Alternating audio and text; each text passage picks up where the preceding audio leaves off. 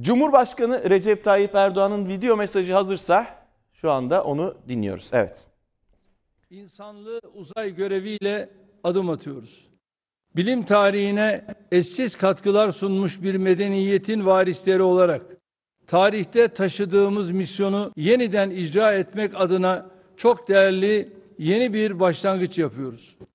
Gözlerindeki parıltıyla ufka bakan gençlerimize, hayalleri dünyaya sığmayan çocuklarımıza ilham kaynağı olmak adına ilk kez bir vatandaşımızı uzaya gönderiyoruz.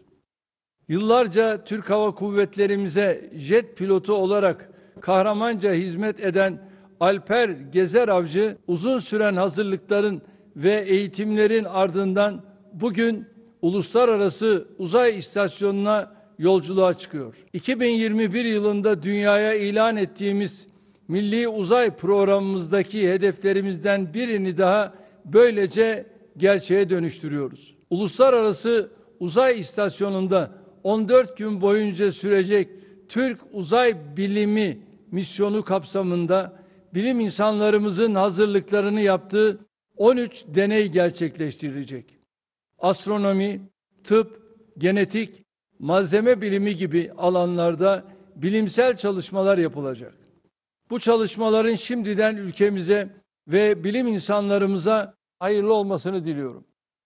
Rabbim yolumuzu, bahtımızı açık etsin diyorum. Kalın sağlıcakla.